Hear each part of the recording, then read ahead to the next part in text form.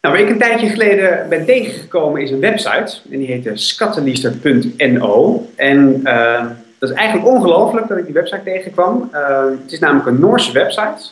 En, en dan heb ik ook vrienden in Noorwegen, dus dat kwam goed uit. Want ik, ik kon namelijk gelijk eens testen. Op die website vind je alle gegevens van de inwoners van Noorwegen wat betreft hun belastingaangifte. Dus elk mens, zeker in Europa, moet elk jaar belastingaangifte doen. Hoeveel verdien je? Uh, wat heb je gekocht? Wat zijn de dingen van waarde? Dan moeten we daar netjes belasting over betalen voor de overheid. En uh, dat doen we met z'n allen. Uh, maar in Noorwegen uh, hebben ze bedacht van, nou, wij zijn radicaal transparant. Dus al die gegevens die mensen aan de Belastingdienst geven, die zetten we in een database. En nou, iedereen die iets met die database wil gaan doen, die, die mag, mag aan de slag. dus skatregister.no is een website waarin ik de, mijn Noorse vrienden heb kunnen opzoeken. en ik weet dus wat zij verdienen, of volgens wat zij aan de belastingaangifte in ieder geval hebben opgegeven.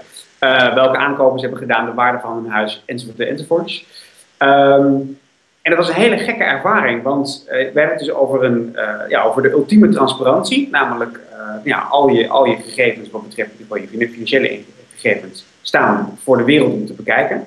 Um, maar het was ook heel raar om dat dus vervolgens dan ook op te gaan zoeken, dat je dus die naam van, van die vriend intypt die in Oslo woont en dan inderdaad, nou ja, daar stond hij dan met zijn inkomen en met, en met, en met de auto die hij die, die gekocht had. Uh, en dat voelde aan de ene kant heel vies. Uh, je voelt je een beetje ex exhibitionistisch. Je denkt van, dit, is dit zijn allemaal dingen die je helemaal niet mag weten. En tegelijkertijd ja, ervaar je ook dat... Ja, hier gaan natuurlijk met z'n allen wel heen. Uh, de, de, de, Noorse Belastingdienst, dat is gewoon een wet. Dus die, die gegevens staan gewoon legaal online. Maar we hebben natuurlijk de afgelopen jaar ongelooflijk veel schandalen voorbij zien komen van allerlei websites die gehackt zijn. van, van de week nog nu.nl, waar 100.000 uh, computers besmet zijn met een virus, waarbij waarschijnlijk bankgegevens gevonden zijn. Maar goed, de, de, lijst met Sony, met de creditcards en de, en Amerikaanse overheid met drones die boven Pakistan vliegen en uh, die waarschijnlijk ook met Chinese of Russische virussen rondvliegen. Um, de illusie dat wij alles kunnen beveiligen, die is volgens mij volledig onterecht. En nou ja, de Noorden hebben daar iets op bedacht. Een wet het is openbaar en heel veel plezier met je, met je gegevens. Dus mochten, mochten jullie, of mocht je Noorse vrienden hebben, typ hun naam in op de, op de Noorse website. En ja, misschien wil je het niet weten, maar, maar we kunnen het allemaal nog beter tegen.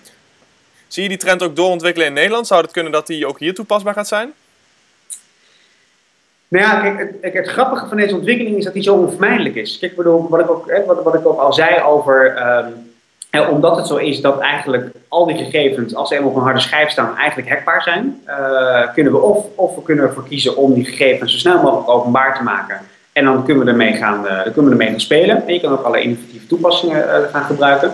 We kunnen ook besluiten met z'n allen dat we echt heel veel geld gaan besteden aan het beveiligen van al die netwerken die, waar we gebruik van maken. Dan hebben we echt over serieus veel geld. Leuk voor de bedrijven die in de beveiliging zitten. Maar op een gegeven moment moet je gaan afvragen, zijn die gegevens wel zoveel waard uh, dat we ze zo goed willen beveiligen? Want dat is namelijk de vraag waar we voor komen. Ik denk dat we dus voor een deel makkelijker om moeten zullen gaan met onze privacy. En dus moeten, ze moeten, moeten neerleggen dat het niet allemaal beveiligbaar is. En voor een aantal aspecten, bijvoorbeeld gezondheids, kan je je voorstellen dat nou, een aantal gegevens over hoe gezond ik ben, dat mag nooit iemand ooit in handen krijgen. En daar gaan we dus dan heel veel geld aan besteden om dat in ieder geval veilig te houden.